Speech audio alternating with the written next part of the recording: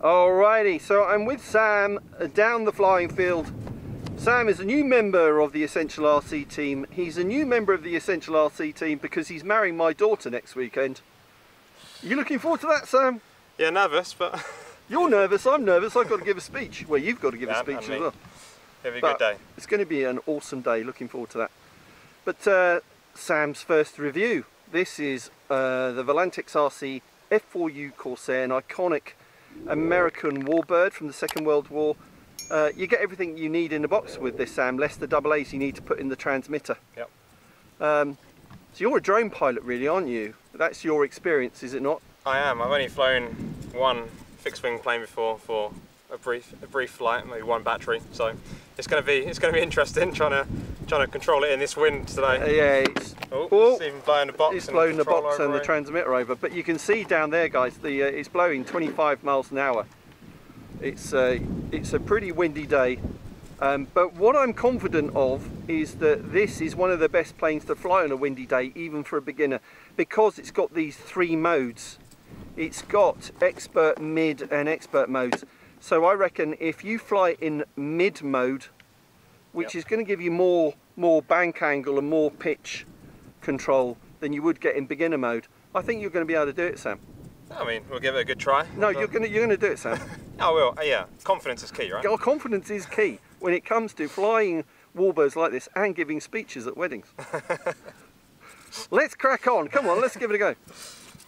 Put the box on the ground. That's going to fly away anyway.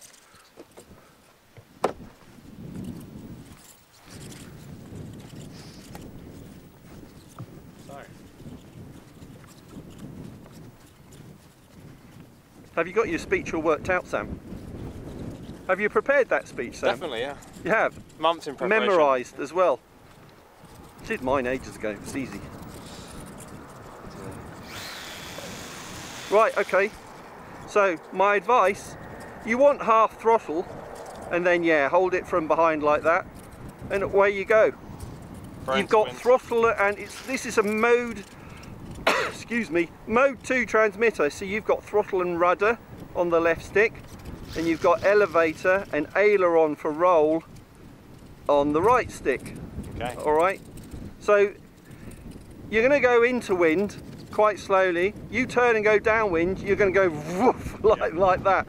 So uh, bear that in mind. You don't want to leave the turn late. You want to turn almost as soon as you come past me. I'm going to leave it to you now. Right. I mean, here we go. Just a nice firm throw Would you set the uh, throttle halfway? yes Yeah. yes above your head and a nice firm throw there you go stay to the right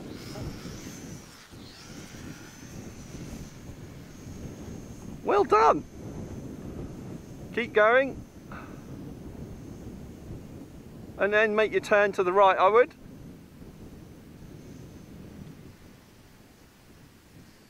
Little less throttle, you're going to keep climbing. Come back this way. Trying. No. No. He's going in. No, he's not. He's down. Right, zero throttle. Yeah. Zero throttle. Well, it wasn't too bad. I mean, you corrected over here. Yeah. Give it another go. If anything, he's going to get fit. Catch me running around, I'm more likely to have a heart attack.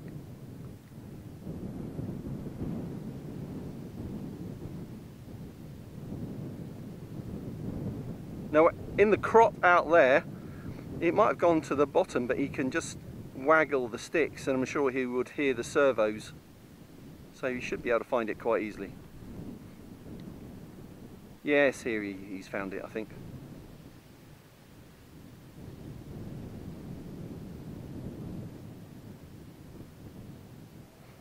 And I guarantee it's going to be in one piece.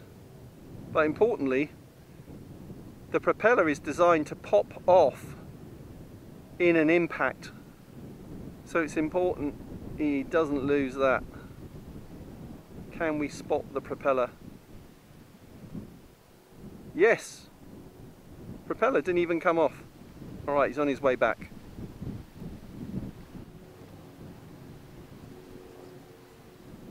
Bit of slow motion.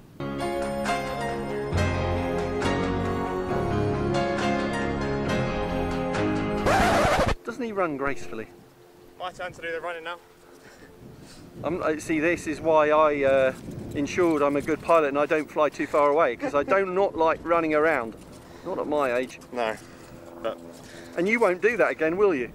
no. I mean, I think I'll try it on a less windy day because yeah, No, this is a fun day for flying, man. I'll give it give it one more go. Yes, you are going to give it one more go. That's not a complete flight test, is it? We want to see you land it at your feet. So lesson is, don't fly too far away. When you make that turn, continue the turn because it's going to make it's going to take a long time to Yeah. turn. Yeah.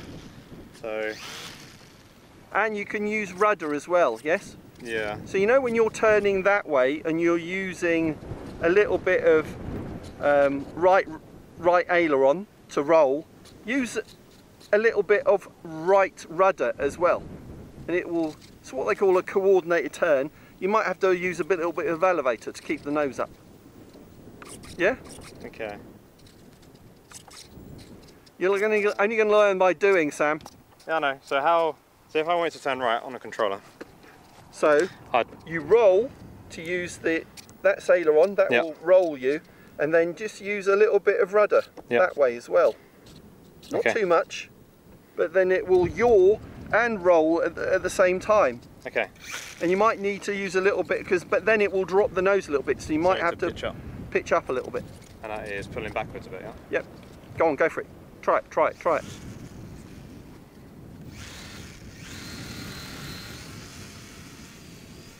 Keep going out that way a little bit, that's it. You don't have to use full throttle. Control your altitude with the throttle, yeah, that's good. Now make your turn.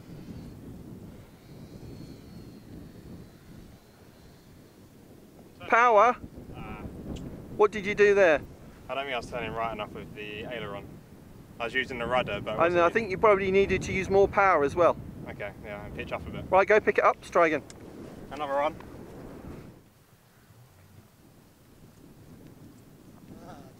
Did the propeller come off?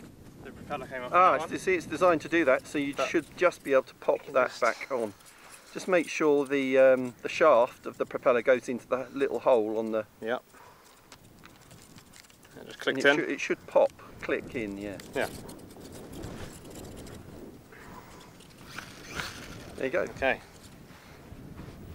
Take 400 and that take So- three. So I think it's power as well.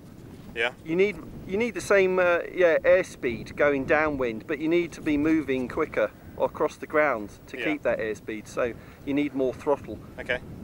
So go for it.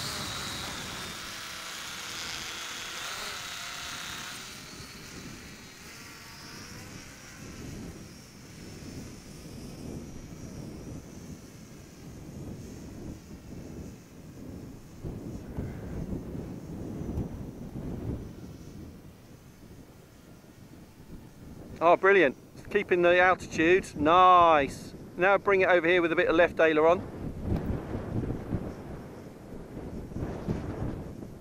Brilliant, you got it, Sam. Well done. A bit closer.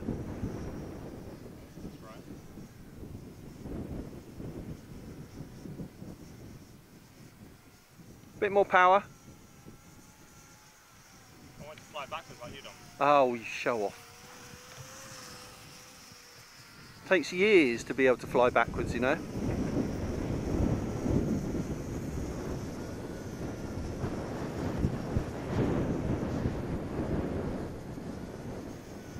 I think you're getting the hang of it now. Yeah, I just want to try and keep the pitch and keep the level, and then do a right turn.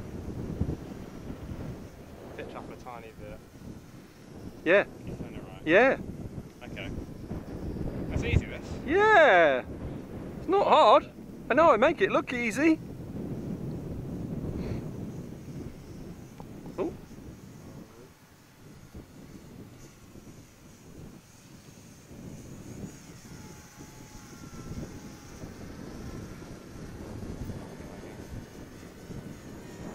I've learned more about flying radio controlled model airplanes on windy days than calm days, believe me. And in this country you can't really avoid the wind.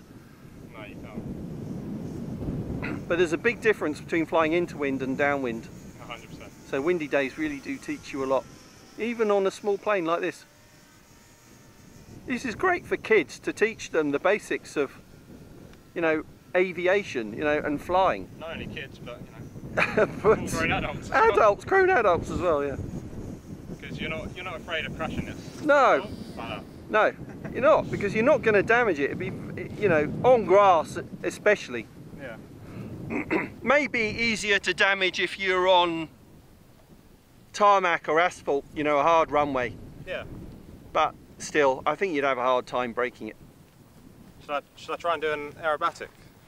Yeah, absolutely. Uh, So as I was um, saying on the previous flight, to do the aerobatics, you're in mid or beginner modes.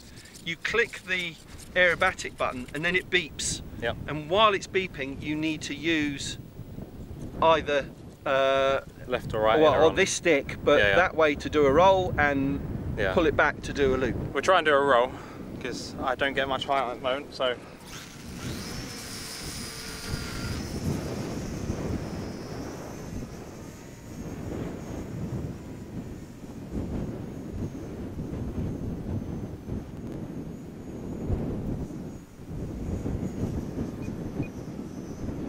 There you go.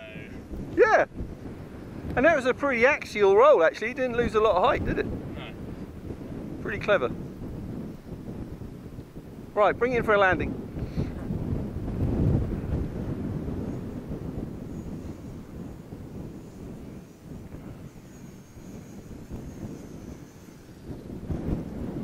Power! No, that wasn't a very good landing.